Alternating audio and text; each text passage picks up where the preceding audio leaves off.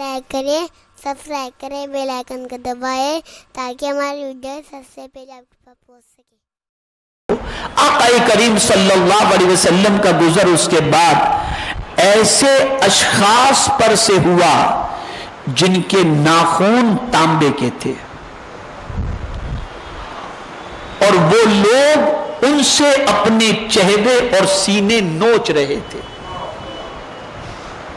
तांबे के नाखून चेहरा भी नोच रहे हैं और सीना भी नोच रहे हैं रसूल गिरामी वकार सल्लल्लाहु अलैहि वसल्लम ने जिब्रील अमीन सलात व तस्लीम से फरमाया, जिब्रील, ये क्या मामला है? ये कौन लोग हैं जो इस अजाब के अंदर गिरफ़्तार हैं?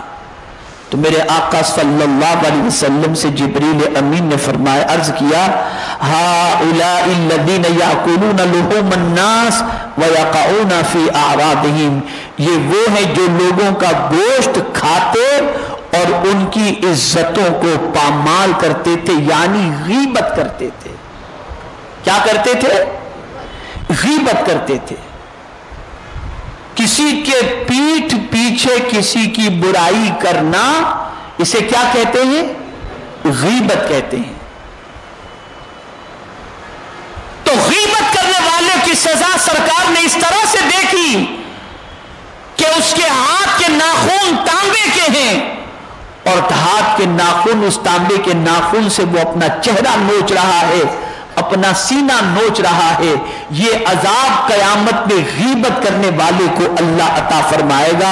याद रखें, गीबत करते वक्त इंसान को अच्छा लगता है, लुत्फ आता है, लेकिन उसे नहीं मालूम जिस तरीके से खुजली की बीमारी किसी को हो जाए तो खुजली करने से तो राहत होती है, लेकिन बाद में जलन होती है। ऐसे ही गीबत करते वक्त अच्छा लगता है। लेकिन गीबत की वजह से जो अजाब होगा, जो तकलीफ़ होगी, वो इंसान के लिए बर्दाश्त के लायक है ही नहीं। आकाए करीम सल्लल्लाहु अलैहि वसल्लम ने इरशाद फरमाया अल गीबत अशद जिना कि गीबत जिना से ज़्यादा सख्तरीन है। कि सरकार फरमाते हैं, जिना करने वाले की तौबा तो कबूल हो सकती है, लेकिन गीबत करने वाले की तौबा और माफ़ी उस वक्त नहीं, जब तक जिसकी गीबत कर रहा है, वो उसे माफ़ न कर दे। तो ए रसूल आज़म सल्लल्लाहु अलैहि वसल्लम के प्यारे दीवानों, ये मुख्तसरन मैंने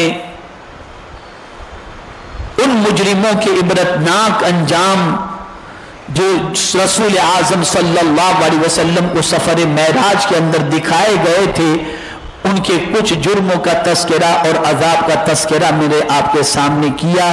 मेरे प्यारे आका सल्लल्लाहु अलैहि वसल्लम के प्यारे दीवानों, हमारी ज़िम्मेदारी है कि हम इन सारे गुनाहों से और बुराइयों से अपने आप को रोकें, बचने की कोशिश करें।